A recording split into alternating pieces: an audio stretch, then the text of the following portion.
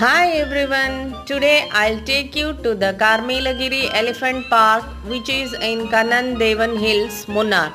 Here we can ride and feed the elephant. If you are visiting Munnar, this is the must do activity in Munnar.